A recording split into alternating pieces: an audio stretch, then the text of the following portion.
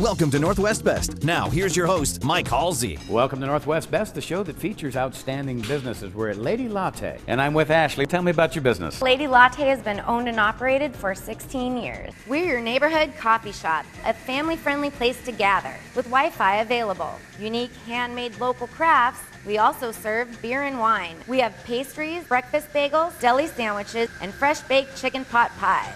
Come visit Lady Latte and get the best cup of coffee in Snohomish County.